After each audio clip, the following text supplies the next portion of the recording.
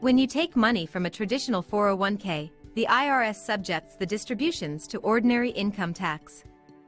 The amount of tax you pay depends on your tax bracket, and you can expect to pay a higher tax for a higher distribution. You may also be required to pay a 10% penalty on the distribution if you are below 59 and a half years old. You can roll over your 401k into an IRA or a new employer's 401k without paying income taxes on your 401k money. If you have $1,000 to $5,000 or more when you leave your job, you can roll over over the funds into a new retirement plan without paying taxes.